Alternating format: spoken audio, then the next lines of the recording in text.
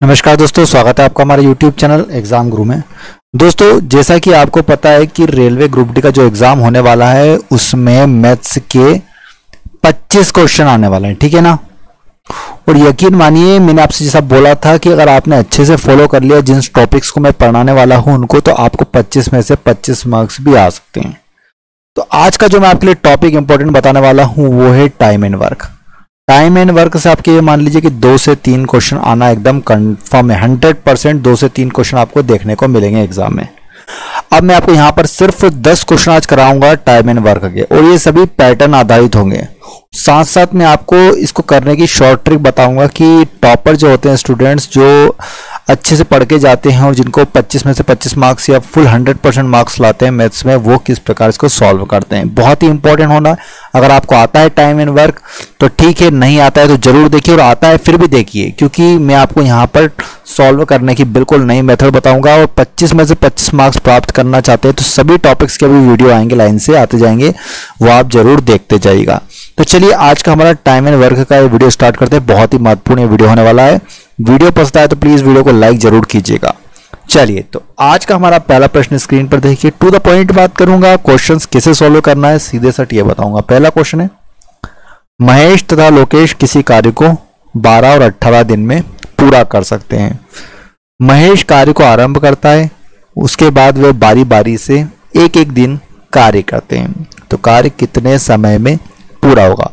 Very simple question है महेश लोकेश किसी कार्य को 12 और 18 दिन में। तो यहाँ पर लिखेंगे, महेश करता है 12 दिन में, लोकेश करता है किसी कार्य को 18 दिन में। इस तरह के क्वेश्चन में आपको सबसे पहले टोटल वर्क निकालना होता है कि टोटल काम कितना है आखिर। अगर टोटल काम पता पड़ गया तो हम ये निकाल लेंगे कि कितने दिन में कौन कर रहा है पर डे का वर्क क्या है। लेकिन टोटल वर्क निकालना है। टोटल वर्क निकालने की भी एक ट्रिक मैं आपको बताता हूँ कि दोनों का आप सबसे पहले एलसीएम ले लिए। एलसीएम भी किस प्रकार लेना है? एलसीएम लेने की भी मैं आपको मेथड बताऊँगा यहाँ पर।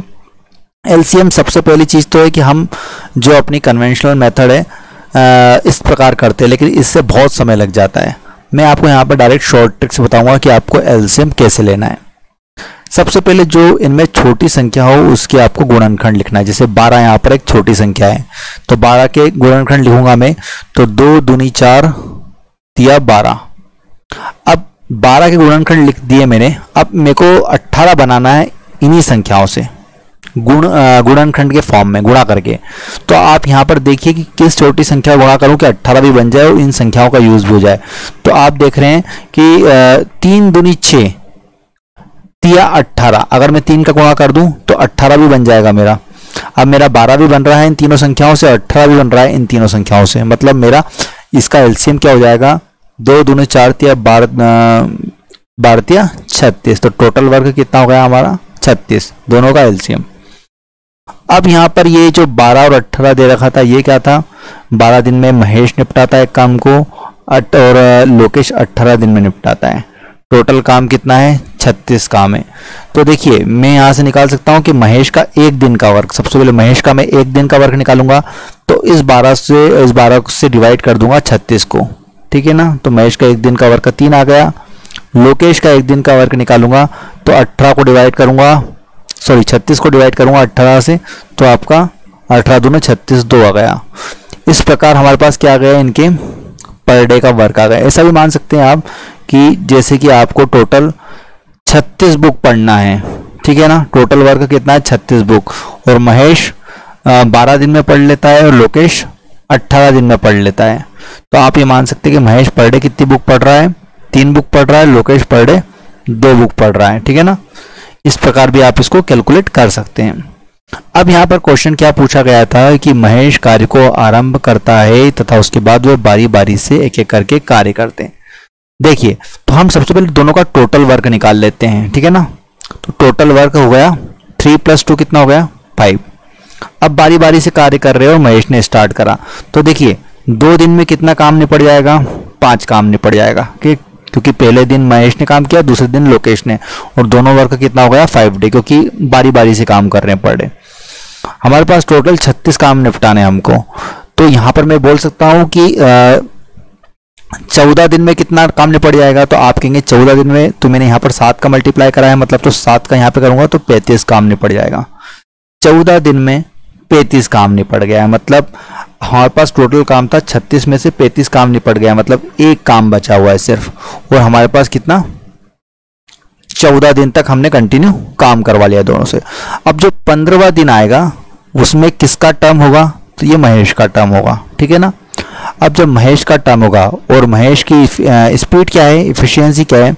महेश पर डे तीन काम करता है, ठीक है ना? लेकिन काम एक बचा है तो एक बटे तीन दिन में वो काम को निपटा लेगा। तो इसमें चौदह में हम क्या कर देंगे? वन बाय थ्री को प्लस कर देंगे। इतना समय और लगेगा, ठीक है ना? एक बटे तीन दिन, क्योंकि एक काम बचा था और महेश की स्पीड है पर डे तीन काम करने की। तो इसलिए उसको पूरा एक बटे तीन दिन लगेगा, क्योंकि एक दिन का एक तिहाई। तो 14 प्लस वन बाय थ्री हम करेंगे तो हमारे पास आ जाएगा चौदह दून अट्ठाईस चौदह बयालीस प्लस एक तिरतालीस बटे तीन। दिन इसका आंसर हो जाएगा मतलब option number C right answer कुछ भी कंफ्यूजन हो, ये बहुत ही कंसेप्चुअल क्वेश्चन था और बहुत थोड़ा सा टफ भी था और इससे आपके सारे कंसेप्ट क्लियर हो गए। कुछ भी डाउट है कमेंट बॉक्स में बिल्कुल आप खुश होकर पूछिए कमेंट बॉक्स में, ठीक है ना? मैं आपको पूरा सॉल्यूशन अगले वीडियो जैसे ही आएगा तो उसमें आपको बताऊँगा, या फिर मैं इसका पार्ट दो भी बना दूँगा, जिसमें आपको सारे आपके डाउट्स ले लूँगा। ठीक है? साथ साथ लाइक ज़रूर करिए और शेयर ज़्यादा से ज़्यादा करिए, अगर आपको सभी टॉपिक्स के इस प्रकार वीडियो चाहिए, ठीक है ना? चलिए, अगले क्वेश्चन की ओर चलते हैं। कुछ भी डाउट हो तो कमेंट बॉक्स में ज़रूर पूछेगा नेक्स्ट क्वेश्चन देखिए, अक्षय और विजय मिलकर एक कार्य को 10 दिन में समाप्त करते हैं। मैं लिख लेता हूँ अक्षय प्लस विजय। एक कार्य को 10 दिन में समाप्त करते हैं। अगली चीज़ क्या कह रहा है? विजय तथा रमेश। अक्षय, विजय तो 10 दिन में, विजय, रमेश 15 दिन में। लिख लिया मैंने। रमेश तथा अक्षय। ये कितने दिन में करते हैं? 20 दिन में समाप्त करते हैं। तो रमेश अकेला इस कार्य को कितने दिन में समाप्त करेगा? रमेश अकेले इस कार्य को कितने दिन में समाप्त करेगा? सबसे पहले मैंने आपको क्या बताया कि टोटल वर्क निकाल लिए इस तरह के कार्यों में, इस तरह के क्वेश्चन में। ठीक है? टोटल वर्क कैसे निकालना है? तीनों का एलसीएम ले लीजिए। एलसीएम की भी मैंने आपको ट्रिक बता दी है सबसे छोटी संख्या है, उसकी गुणनखंड लिख दीजिए। टू इंटू फाइव सबसे छोटी दस थी तो पाँच दो ना? दस। एलसीएम निकालने की ट्रिक बता रहा हूँ, वही हमारा टोटल वर्क होगा। अब मुझे क्या बनाना है इससे? उससे बड़ी संख्या पे आइए तो पंद्रह बनाइए इससे तो पाँच दोनों दस। अगर मैं तीन का गुणा करूँ तो पाँच दिया, ये पंद्रह हो जाएगा, ठीक है ना? पंद्रह भी बन गया। बीस बनाइए। तो देखिए पाँच दोनों दस तो हो रहा है। अब अगर इसमें मैं दो कम पड़ रहा है तो दो का गुणा करूँ कर दूँगा तो पाँच दोनों दस दूनी बीस हो जाएगा। तो टोटल ये बीस भी बन गया, पंद्रह भी बन गया, दस भी बन गया, ठीक है ना? तो टोटल वर्क कितना हो गया आपका? पाँच दोनों दस या तीस दूनी साठ। तो टोटल वर्क आपका कितना गया? साठ, ठीक है ना? इसको ध्यान रखिएगा। अब देखिए, अगर मैं बोलूँ कि अक्षय और विजय मिलकर एक कार्य को दस दिन में कर रहे थे तो उनका पर डे दोनों का मिलाकर कार्य कितना कर रहे हैं? पर डे कितना कार्य कर रहे हैं? छह काम कर रहे हैं, क्योंकि दस को हमने साठ को दस से भाग दे दिया। वैसे ही मैंने विजय और रमेश का पर डे का वर्क निकाल लिया तो पंद्रह, साठ को पंद्रह से भाग दे दूँगा। तो पंद्रह चौक साठ और रमेश और अक्षय का मैंने पर डे का वर्क निकाल लिया तो 20 से भाग देंगे इसको 60 को, ठीक है ना? तो ये जाएगा अपना तीन।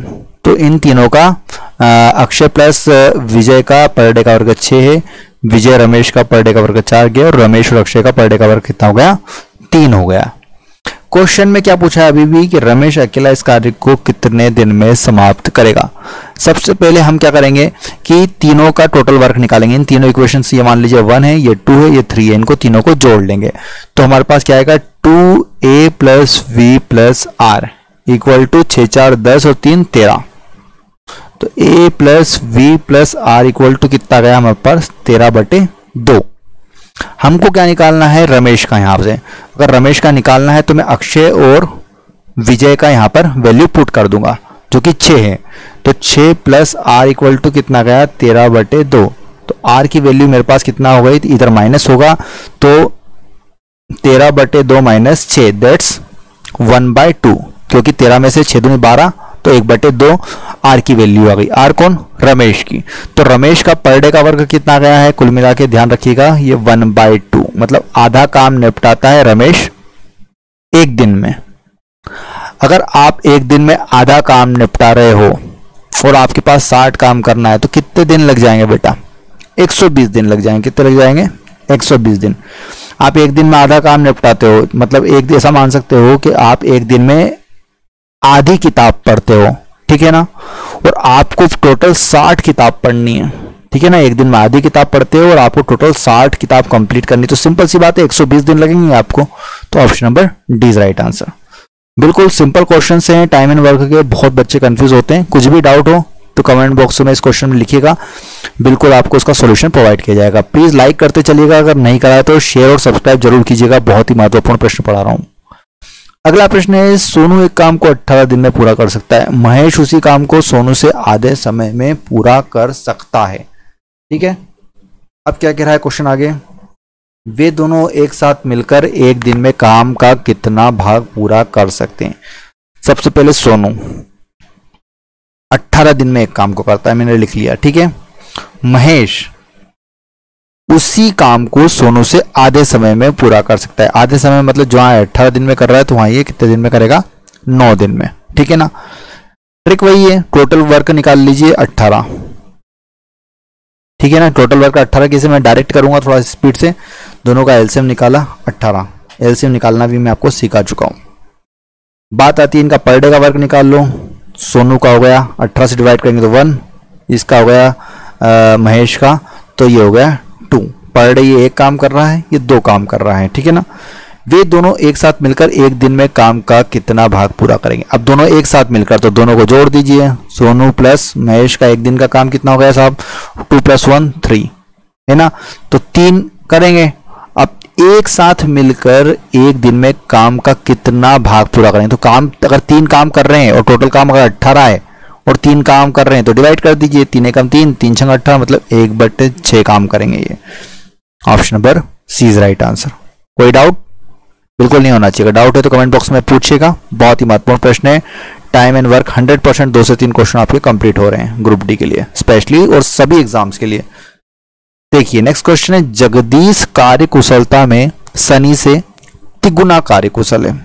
एक चीज़, एक कॉन्सेप्ट याद रखिएगा कि जो कार्य कुशलता का अगर अनुपात है, जैसे कि राम और शाम की कार्य कुशलता का अनुपात अगर मैं बोलूँ, तीन अनुपात पाँच है।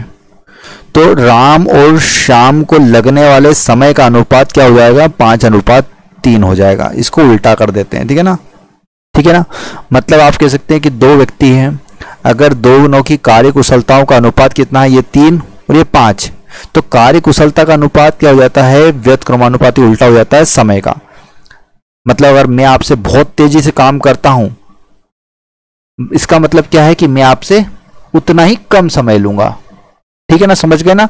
जितनी तेज़ी से मैं आपसे काम करूँगा, जितनी तेज़ी से आपसे कोई व्यक्ति काम करेगा, उतना ही वो आपसे कम समय लेगा। जितना तेज होगा वो आपसे। ऐसा भी समझ सकते हैं। ठीक है ना? तो यहाँ पर क्वेश्चन क्या कह रहा है कि जगदीश कार्य कुशलता में शनि से तिगुना कार्य कुशल जगदीश कार्य कुशलता में शनि से तिगुना कार्य कुशल है। जगदीश। ठीक है ना? मतलब जगदीश बटे सनी की कार्य कुशलता देखी जाए तो थ्री टू वन की है। ये कार्य कुशलता का अनुपात है। ठीक है? रख लीजिए। अब आगे बात आती है। इसलिए किसी कार्य को पूरा करने में सनी से साठ दिन का समय कम लेता है। ठीक है ना? जगदीश सनी अब सनी से साठ दिन का समय कम लेता है। तो समय में यहाँ पर अगर मैं मान लू कि जगदीश को अगर एक्स दिन लग रहे हैं तो सनी को एक्स प्लस साठ दिन। आप कह रहे हैं कि सर यहाँ तो लिखा है कम लेता है। तो बेटा यहाँ पे लिखा है कि इसलिए कार्य को पूरा करने में शनि से साठ दिन का समय जगदीश कम लेता है। तो यहाँ पर जगदीश कम ही तो ले रहा है, साठ दिन का समय। ये सब भी कह सकते हैं कि साठ दिन का समय ज़्यादा लेता है शनि। कुल मिला के ये कहना चाह रही है लाइन ये वाली। कि सनी क्या कर रहा है, साठ दिन का समय ज़्यादा ले रहा है, लेकिन जगदीश क्या होता है, साठ दिन का समय यहाँ पे कम ले रहा है, ठीक है ना? अगर इसमें से आप साठ माइनस करेंगे सनी में से तो जगदीश की हो जाएगी समय मतलब दिन आ जाएँगे एक प्रकार से, दिन मान लीजिए ना, एक दिन ले रहा है जगदीश सनी ले रहा है एक्स प्लस साठ दिन ले रहा है काम करने में, ठीक है? तो ये हमने क्या निकाल लिया, जगदीश के दिन निकाल लिए और सनी के दिन मान लिए, और इनकी इफिशियंसी क्या है? थ्री टू वन की ये पहले क्वेश्चन पहली लाइन में दे रखा था, जगदीश कार्यकुशलता में शनि से तिगुना कार्यकुशल है। मैंने आपको बताया कि अगर कार्यकुशलता का अनुपात ये है तो इनके समय का अनुपात क्या हो जाएगा? उल्टा हो जाएगा। मतलब जे बाय एस इससे मैं लिख सकता हूँ वन इस टू थ्री ठीक है?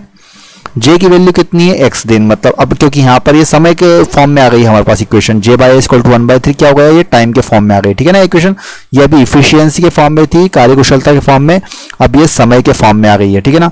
और समय हमारे पास पता है कि जगदीश को एक्स दिन लग रहे हैं और सनी को एक्स प्लस आठ दिन तो रख दीजिए इस इक्वेशन में वैल्यू पुट कर दीजिए। तो यहाँ पर मैं पुट करूँगा तो x upon x plus sixty बराबरी पर वन बाय थ्री इस इक्वेशन को सॉल्व करेंगे three x equal to x plus sixty that's two x equal to sixty तो x इक्वल टू कितना गया हमारे पास? थर्टी ठीक है ना? x इक्वल टू तीस दिन आ गया। अब क्वेश्चन पे आते हैं फिर से। एक साथ कार्य करते हुए वे इस कार्य को कितने समय में पूरा करेंगे? तो देखिए, जगदीश को तीस दिन, सनी को नब्बे दिन। अब एक साथ कार्य करते हुए हमें आपको बताया है, इनका एलसीएम वही, यहाँ से हमारी वही प्रोसेस हो जाएगी। आप डायरेक्ट शॉर्ट ट्रिक से भी कर सकते हैं डायरेक्ट पैंतालीस बटे तो यहाँ समझ में आ रहा है, दोनों को one by three one by three करके जोड़ देंगे। सॉरी इनका व्यक्त क्रमानुपात करके जोड़ देंगे तो भी हमारा यह आंसर आ जाए। लेकिन हमारे पास टोटल वर्क हमारा नब्बे हो गया इन दोनों से। नब्बे वर्क हो गया तो जगदीश का कितना हो गया? पर डे का वर्ग भैया तीन हो गया, और इसका कितना हो गया? पर डे का वर्ग सनी का वन हो गया। टोटल दोनों का एक दिन का काम कितना हो गया? तीन और एक कितना हो गया? चार। जे प्लस एक का वन डे का बट कितना हो गया? चार हो गया। टोटल काम कितना है? नब्बे। तो ये कितना हो गया हमारे पास? नब्बे बटे चार। That's forty five by two answer ये सोच रहे होंगे कि आपने इतनी स्पीड से क्या कर दिया देखिए, हमारे को सिर्फ़ ये एक्स की वैल्यू निकालनी थी। एक्स की वैल्यू के बाद ये हमारी पुरानी मेथड बन गई है कि इनका जगदीश एक कार्य को तीस दिन में करता है सनी एक कार्य को नब्बे दिन में करता है तो दोनों का टोटल वर्क नब्बे मैंने मान लिया था, जो जो कि मैंने एलसीएम लिया था। उसके बाद मैंने क्या करा था? पर डे का वर्क निकाल लिया जगदीश का, जो कि तीन था। सनी का मैंने पर डे का वर्क एक निकाल लिया डिवाइड करके फिर दोनों का पर डे का वर्क निकाल दिया तो चार हो गया। और टोटल वर्क कितना? नब्बे था तो नब्बे को मैंने चार से डिवाइड कर दिया तो ये पैंतालीस बटे तो आंसर आ गया, ठीक है ना? सिंपल क्वेश्चन है। चलिए, अगले प्रश्न की ओर चलते हैं? कुछ भी डाउट हो तो कमेंट बॉक्स में पूछिएगा। एक कार्य को बारह दिन में पूरा कर सकता है। ठीक है साहब? बी उसी कार्य को बीस दिन में पूरा कर सकता है। ठीक है, थोड़े स्पीड से करूँगा क्वेश्चन अब मैं। तीन दिन के लिए सात कार्य करते हैं और फिर एक काम को छोड़कर भाग जाता है। शेष कार्य को बी अकेले कितने दिन में पूरा करेगा? वही सबसे पहले दोनों काम को एलसीएम लेना है, क्योंकि टोटल वर्क निकालना है। तो कितना हो जाएगा भाई? चार तिया बारह पंज साठ, है ना? तो ये हो गया टोटल वर्क हमारा आ गया साठ। अब यहाँ पर टोटल वर्क तो हमने दोनों का एलसीएम निकाल के निकाल लिया।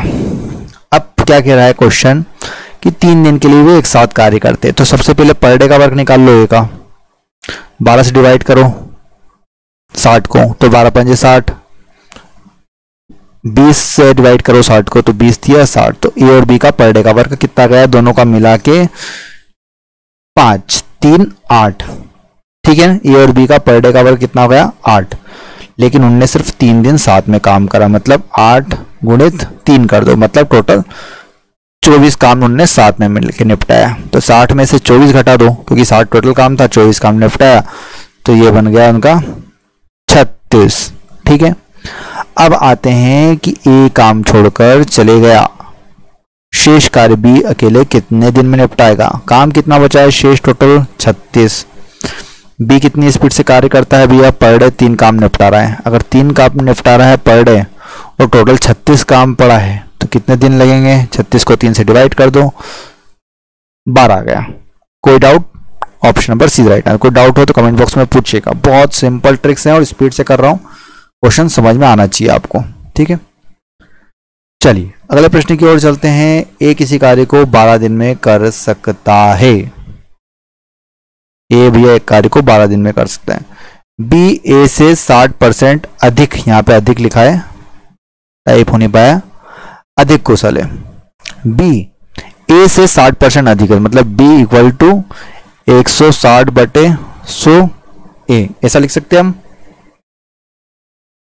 इसको ऐसा लिख सकते हैं मतलब इसको ऐसा लिख सकते हैं कुल मिलाकर के B by A equal to आठ बटे पाँच। ये क्या है? इफिशियंसी मैं आपको बताता हूँ हमेशा कि एफिशिएंसी मैंने बोली यहाँ पे। ठीक है ना?